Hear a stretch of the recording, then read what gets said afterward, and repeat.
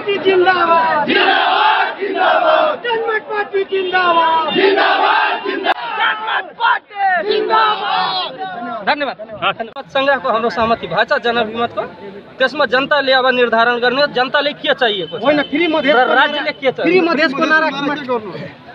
अब हामीले फ्री मधेसको कुरा जनतामा राखेछौँ। जनताले जे चाहन्छ त्यही। नाम जनअभिमत जनअभिमत भनेको जन्म सङ्ग्रह पनि हो। त्यो चुनावमा जान पनि ऊ छ। त्यो जुन हिसाबले पनि जनताले आफ्नो मत व्यक्त गर्न सक्छ त्यो नै जनमत हो। फ्री मधेसको नारा अब लगाउनुहुन्छ कि लगाउनुहुन्न? त्यो हामीले भनेको जनताले जे चाहन्छ त्यो हुन्छ।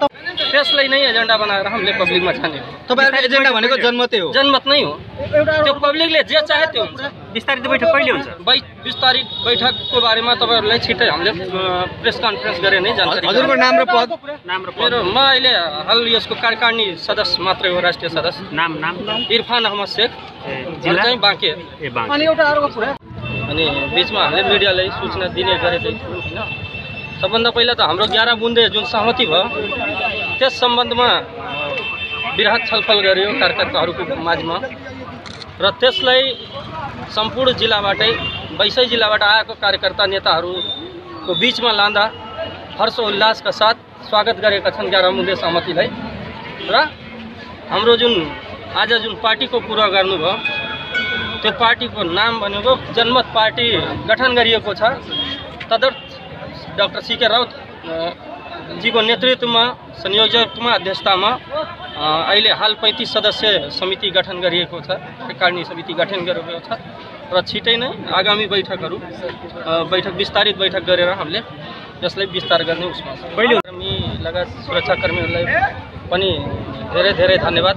यो दुई दिनदेखि हाम्रो चलेको राष्ट्रिय बैठकमा परिषदको बैठकमा चाहिँ वेट गर्नुभयो। हाम्रो पनि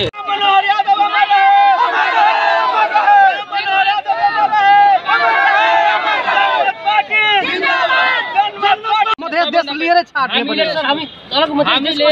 मधेस देशको लागि नारा लगाएका थियौँ।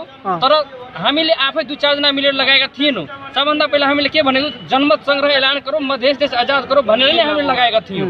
तर आज पनि के छ भने जनअभिमत अब यो नारा लगाउनुहुन्छ कि लगाउनुहुन्न हामीले जनताले जनताले के चाहन्छ? हामी फर्स्टमा जनतामा जान्छौँ। योभन्दा जनताले अगाडि तपाईँले? नारा लगाएर जनतालाई लोभ्याउनु भयो अनि अहिले मुद्दा छोड्नु भयो। लोभ्याउने कुरा केही पनि छैन त्यस्तो यस्तो भइरहन्छ। बुझ्नुभयो? तर हामी खासमा अहिले पनि